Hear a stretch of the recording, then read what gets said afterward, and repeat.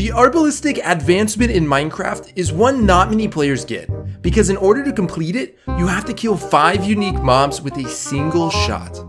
A player by the name of Jace174 got this advancement within 45 seconds of starting a new world. But that's not even the craziest part. After spawning in, completing a ruined portal, looting a bastion, and returning home, he fired a shot that killed a zombie piglin, a sheep, a cow, and a chicken.